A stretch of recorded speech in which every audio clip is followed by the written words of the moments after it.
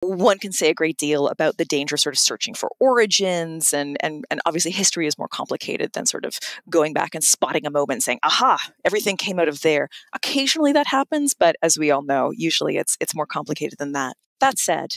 when we look to history there's an opportunity in that place and time to see many phenomena, several phenomena that are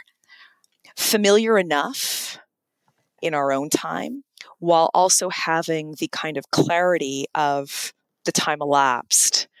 that's offered up by, by history by sort of saying, oh, well, that was something that happened 150 years ago, for it both to be familiar, but also defamiliarized in a way that sometimes allows things to be assessed or experienced with whether it's more clarity or at the very least a kind of a helpful arm's length view